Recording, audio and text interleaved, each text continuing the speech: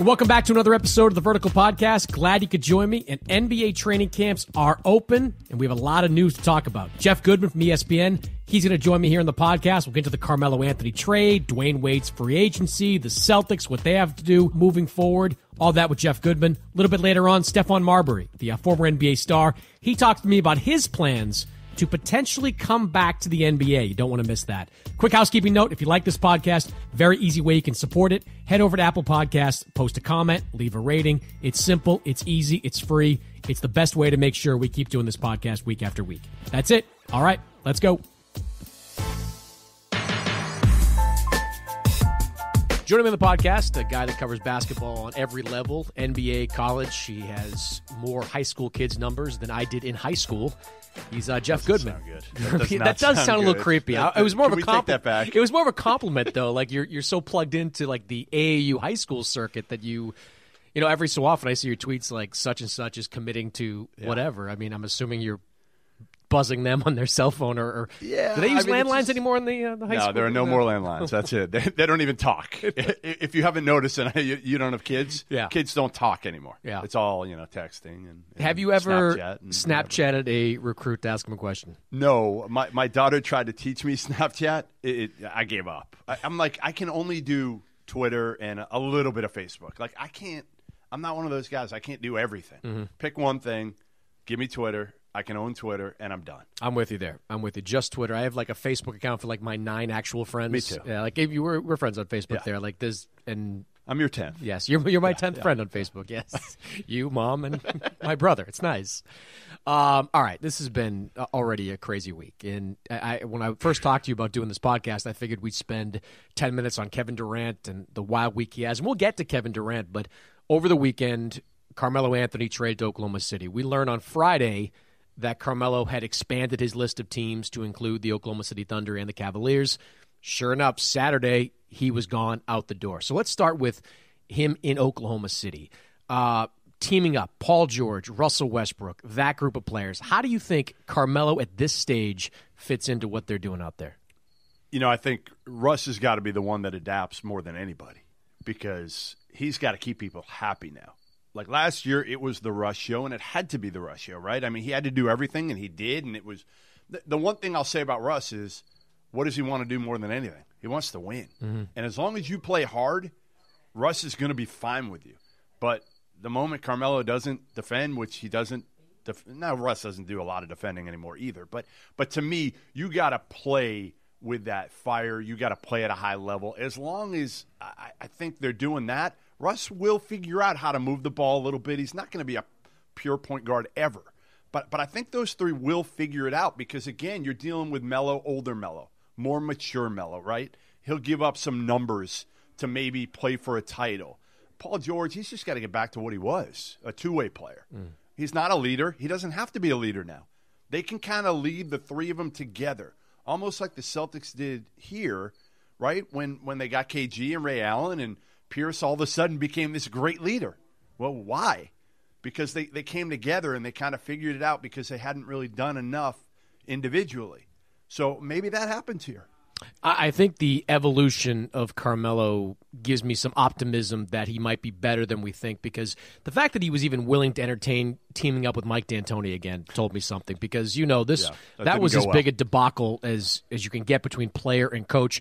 That told me that Carmelo was willing to be a stretch four. That maybe he had more of a a sense of, of, of, of uh, the importance of winning and, and fitting in than he ever did before. That being said, you've got a lot of guys that want the ball out there. I mean, Russell Westbrook. Three, though, but just three. And then you put like Robertson, who's a defender, Yes. Jerami Grant, who's a defender, and. I worry about Steven Adams though. Like I, I Steven Adams did not take a step forward last year, and a lot of that had to do with the fact that there was just Westbrook and no shooters on the outside. I think there's more to Steven Adams. I think he can become Just finish. Just rebound, finish, Right. and run the court and block shots. Like, what else does he have to do? what but what kind of offense Do does? Billy Donovan run out there? I mean, you know Billy, you're familiar with him in the college ranks. I mean, you know, Carmelo is not the stand in the corner and shoot three pointers guy. He wants post touches. He wants Yep. isolation touches. Paul George wants to play. Paul George wants to play catch and shoot. I, I'm, I'm still struggling to see what kind of offense they'll run that's effective for everybody. That's the million dollar question. Is what does Billy Donovan do now? Whatever he's been thinking about all off season, you've got Russ and Paul George, and you know it's almost like plugging in KD in a sense, right? I mean, not not that high end version of KD, but you've still got two dudes. Now you've got a third who's far more of a ball stopper than the other two. So how do you figure out a way to to get the ball moving? I mean, he couldn't do it when it was Russ and KD. You know what was it? It was mostly five seconds left in the shot clock, and uh, you know, I, whoever got the ball, whether it was Russ or KD, would be jacking it up, and that's one of the reasons KD left is because now he gets you know quality shots, and he doesn't have to to jack up shots as as the shot clock's running down. So I, I think that's going to be the key right now. How do you integrate Carmelo? Because I don't think. And again, I think it's a conversation with Russ. Mm-hmm. And, and Russ has to have a different mindset this year. And I think if he does, which he can, and then he takes over when he needs to. I think it's it's fascinating because Sam Presti has done everything he possibly can to get Russell Westbrook to sign an extension. I mean, you know, yeah. he he turned, and let, us be real. There's virtually nothing that the Thunder gave up over the last, uh, you know, couple of trades that they'll regret. Even if this whole thing goes south, yeah. there's not a lot they regret. Maybe they wonder if Sabonis can turn into a, a decent player, yeah. but Presti's not. He's not losing any sleep over Sabonis. There's no first round pick included in this deal. So they've set themselves up to be okay uh, long term. But I wonder, does what does Russ wait for here? Does he sign the extension before training camp? I can tell you, they don't know. Like they sit around. Why would you if you're Russ? Yeah. Why, why would you? What What's the What's the upside if you're Russ of signing it today? Why wouldn't you wait through half the year and see how you're playing together and make sure Paul George is going to stick around?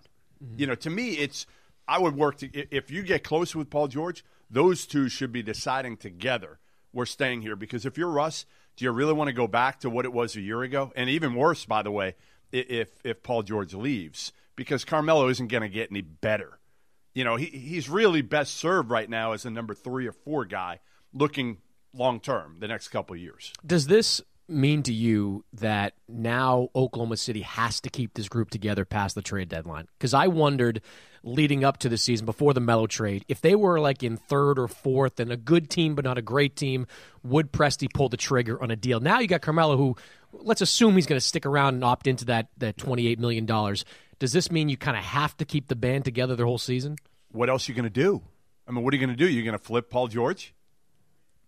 Going to flip Russ? I don't know what you're getting for any of these guys for half saying. a season. You're not getting anything for Paul George because everybody thinks he's going to L.A. ultimately. Mm-hmm. So you're not moving Russ because they would absolutely crucify Sam Presti.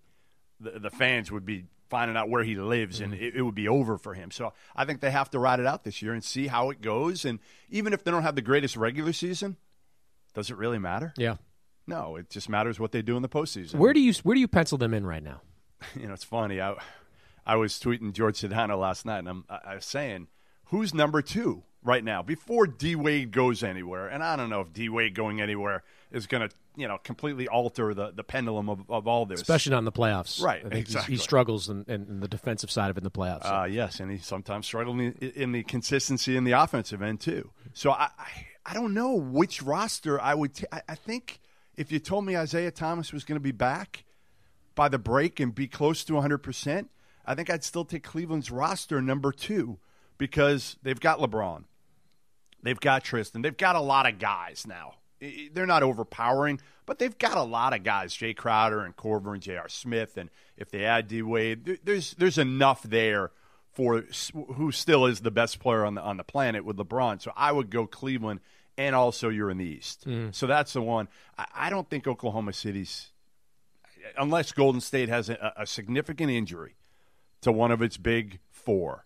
I don't think there's any way, uh, whether it's Oklahoma City, whether it's San Antonio, whether it's Houston. I don't see any of but them. do you look at Oklahoma City as being better than San Antonio and Houston right now? Because they were a 47 win team without any of these guys in the mix. You add Paul George, I thought that got him into the 50s. You add Carmelo Anthony, even at this stage, and if he buys in, again, that's the big question with Carmelo. He says he is. Let's see if that comes into practice. That's a 55, 56 win type of team. And I look at San Antonio, and Tony Parker isn't getting any younger. Um, no, is he going to be more effective? Yep. Houston. Love the backcourt, think it's going to work fine, but they're thin up front, and, and I don't know how where they get kind of that, that balance in their offense. I think Oklahoma City is the second best team in the West right now. Talent. Talent. I agree. On paper, no question. You can't even argue with that. Yep. Off paper, uh, I'll take the Spurs. I'll take Pop Yeah. and Kawhi over anything else, and that culture and just the winning and how they do it and move the ball and all of that. Because Oklahoma City and Houston both have potentials. I think Houston even more to be a train wreck. Mm-hmm. I mean, how, how is it going to work with Harden and, and, and Chris Paul? I, I, this is where I trust D'Antoni because offensively he can make these guys. They might not play any defense. There's enough possessions. But yeah, they, they'll. Right. And plus, we fine. saw. I think Harden saw at the end of last year just how exhausting it was being the primary Yep. and having no secondary. I think he's going to be a better player. Maybe the numbers won't reflect it, but he'll be a better player and a more productive player in the postseason if uh, with Chris Paul around. Now, uh, with the Knicks, does it matter what they got? Does it? Is it even relevant that? I mean, they, They didn't have to cut him. They didn't have to cut Carmelo, which I thought they might eventually have to do. Um, Kanter, uh, I'm forever, I, and I love Enes Kanter, but I'm forever going to know him as Can't Play Kanter from with Billy on the sideline there. Yep. Um, does it matter? I mean, do you think McDermott has a future in the NBA? I mean, I, I love Doug. Like I'm the president of the Doug McDermott fan club. Like as a as a kid, as a, a college player, he's a good piece. He's a good piece. So is. You- Great offensively. Maybe one of the, the maybe the worst defensive post player in the league, or certainly right there, right? So so now, you know, you, got to think about Hornacek and what he's got to deal with defensively now. And, and they got pieces for Carmelo. Well, that's the best they could do. Everybody's to say, well, they should have gotten more. They should. Well, what? What are you going to get for Carmelo? How many teams want to take on that contract? I talked to enough GMs that said to me, like, we don't, we think he's damaged goods. We're not going to take him on at that number uh, because, frankly, he's not worth it. We're going to go young. We're, we're we're not bringing him on. So you know, if you're the Knicks, you, you turn the page.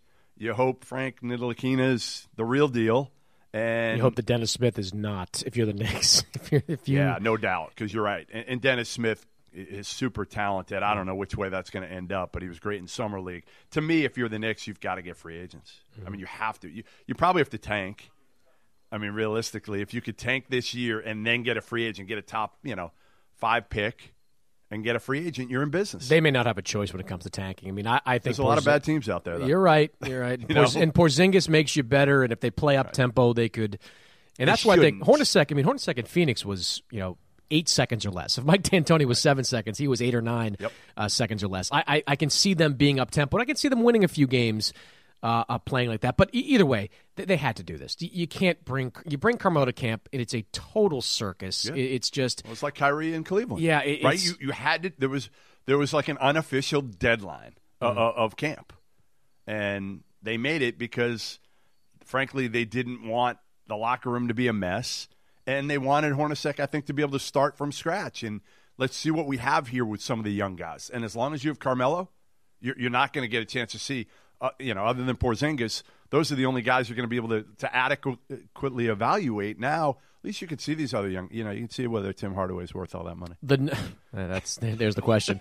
the The numbers uh, for Carmelo are not good in New York. Two hundred seven and two sixty nine in the playoffs. They lost three of their four series that they were in. I mean, is do we describe Carmelo's Knicks experience as a failure? Is Yes. that yeah? Oh, Is yeah. abject failure. how can you not? I, look, I, I I will in playing devil's advocate here. I, I will say they never surrounded him with any No, good players. Phil. Phil was the ultimate failure. Yeah. And, and Carmelo was kind of a byproduct. Of and, that and he. Carmelo was on the side of the Angels last season. That was you know Yep. Phil. That's right. Phil being filled there. But at the same time, look, Carmelo battled with D'Antoni, and that was a mistake because if he accepted what Mike was teaching, they might have been better off. He refused to change his game and evolve. So I would, you know, like D minus, give it the D minus there. Yeah, for, I'll give him. I'll give, that's fine. I'll go with I'll go with a D minus instead of the F. And, that, and that, I, I hope it's funny because people that don't know Carmelo, and I don't know him super well. I don't. I remember I broke his commitment years ago when I was at Fenway Park. Actually, Had his number in high Red school. There. Yeah, I don't remember what it was. AOL Instant Messenger back Probably then. was. Like, it probably was back then. But but I, I do think Carmelo gets a little bit of a bad rap as a as a human being. Like I don't think he's a bad guy, a bad kid, or any of that. I just you know, again, on the court it's easy because he looks selfish. He doesn't play any defense. Doesn't show a lot of emotion. So he's in he's the easy target and he gets paid a ton of money. Um, but but again, he to me, he's never been like an elite elite player like he's that next tier, like Paul Pierce. Like to me, was always the next tier. Now Paul Pierce again came into a good situation now, you know where where he got KG and Ray Allen. Carmelo's best situation was early on in his NBA career. Can Carmelo Anthony be a factor in Paul George and Russell Westbrook sticking around